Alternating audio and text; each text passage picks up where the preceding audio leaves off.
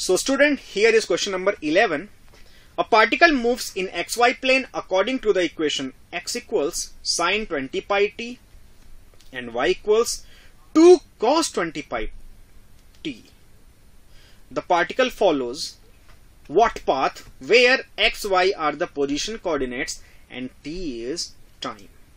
Now according to question it is given x equals sine 20 pi t. On the other hand y equals 2 cos 20 pi t. We can write y by 2 as cos 20 pi t. Now suppose this is equation number 1 and this is equation number 2.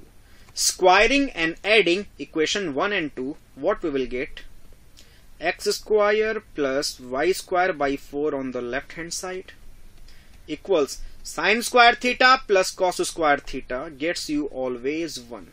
We can further write it x square upon 1 square plus y square upon 2 square equals 1 and this is the standard equation of ellipse. So we can say that the trajectory of the particle, the path of the particle is what? Ellipse. So we will go with option number 1. Now let us proceed to the next question that is question number 12. Here is question number 12 everyone.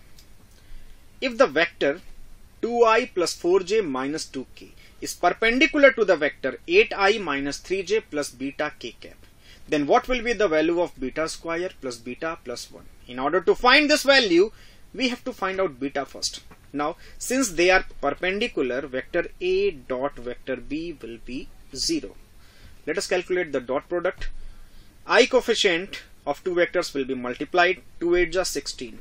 J coefficient multiplied, K coefficient multiplied. 4 into minus 3 that is minus 12. Minus 2 into beta that is minus 2 beta equals 0.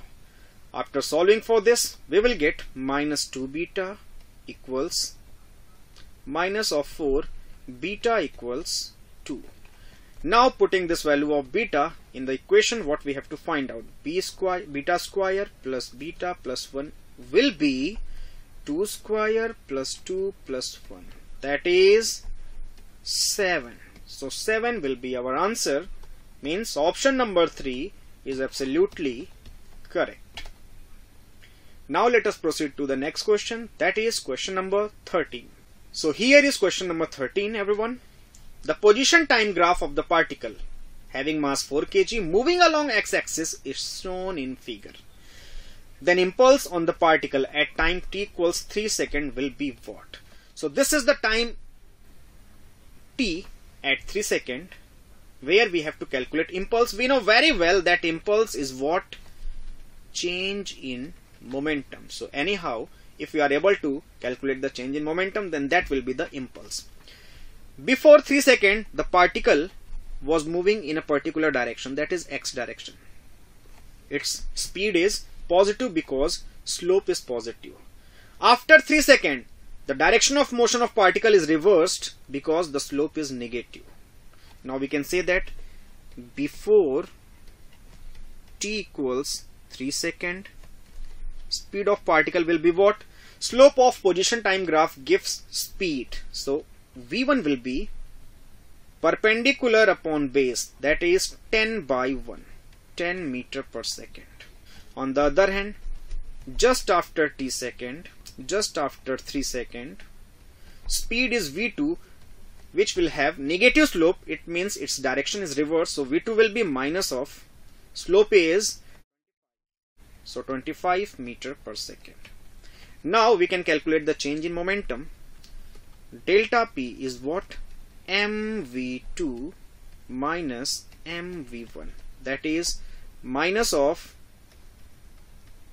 4 into 25 minus of 4 into 10 that is minus 140 Newton second that will be change in momentum which is also impulse Now after looking at the option, we can say that option number 2 is absolutely correct. So we will go with option number 2 only. Now let us proceed to the next question. That is question number 14. So student, here is question number 14. The coefficient of friction for both blocks with ground is 0.4. The normal reaction by wall shown in figure will be what? Taking G as 10 meter per second square. Now let us taking this both block as a single system. Now the forces acting on the block will be what? Let us draw the free body diagram of the system. Masses are m1 plus m2. 100 Newton force is acting in right direction. Here is the wall which will exert a normal reaction N which we have to find out both are in contact with the ground therefore a reaction from the ground will also act so now under the influence of these forces the block is not able to move so acceleration will be zero now let us apply the Newton's second law. The surface is also rough so this is applied force. It means a friction force will also act in this direction that is Fs. So the net force will be what? Mass into acceleration which is 0 100 minus n minus fs will be 0 therefore n will be 100 minus friction force 100 minus friction force is mu mg where m is the total mass of system. 100 minus 0.4 multiplied by mass is 20 gravity is 10 and after solving we will get the value of reaction provided by the wall will be 100 minus 80 that is 20 Newton and we can say that option number 3 is absolutely correct. So we will go with option number 3 only. Now let us proceed to the next question. That is question number 15 so here is question number 15 everyone. A car of mass 1000 kg moves with constant speed v on a circular path of radius small r shown in figure. The average force on car during the motion from A to B will be what given that all quantities are in SI system. Now we know that the average force acting on any block or any particle will be what? It's the change of momentum with respect to time. Now anyhow if we are able to calculate change in momentum and time taken from A to B then question will be solved. So change in momentum. In order to calculate the change in momentum we have to calculate the change in velocity that is delta V. So here is initial velocity V1 and this is final velocity V2 at B.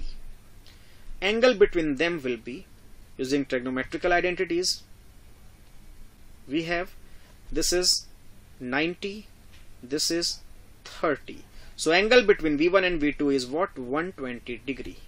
We have to calculate change in velocity delta v. Delta v will be v2 minus v1 so we require minus v1 vector. So this is minus v1 vector. Angle between v2 and minus v1 will be what? 60 degree. Magnitude of delta V we can directly write under root V square plus V square plus 2V square cos 60 degree. Cos 60 1 by 2 cancel with this 2 and we will get delta V as V under root 3. So change in momentum delta P will be what mv that is 1000 v under root 3 now we require time. This total angle is 120 degree and a circle traces 360 degree means the time taken will be what one third of total time taken during one cycle. So t will be what or delta t will be what t by 3 which we can further write t is 2 pi r whole divided by 3 V. This is total time. Now we can calculate the average force. F equals delta P that is 1000 v under root 3 whole divided by delta t that is 2 pi r divided by 3v so 2 pi r divided by 3v goes at the top to 500 times. So f will be 500 into 3 that is 1500 under root 3 v square upon pi r. So this will be the final expression for average force and after looking at the option we can say that option number 1 is absolutely correct. So we will go with option number 1 only. Now let us proceed to the next question that is question number 16.